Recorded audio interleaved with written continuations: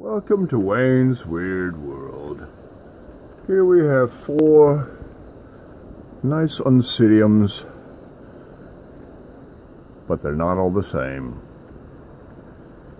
This is the division that I just mounted the other day that came off of this one. And then, what do we have up here? We have a lovely, lovely little flower spike. Have a look. Yep, that's a good one. This plant is really quite healthy. This little division looks good. Nice, nice root growth on there. This one doing well. Lots of little things happening. Roots in there.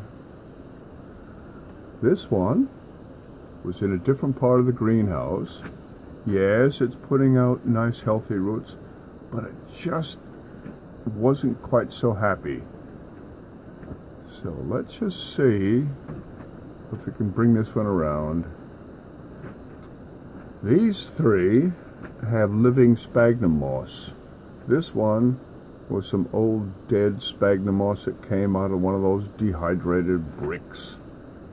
So maybe that might have something to do with it. Anyway, four different oncidiums that are still Oncidium flexuosum.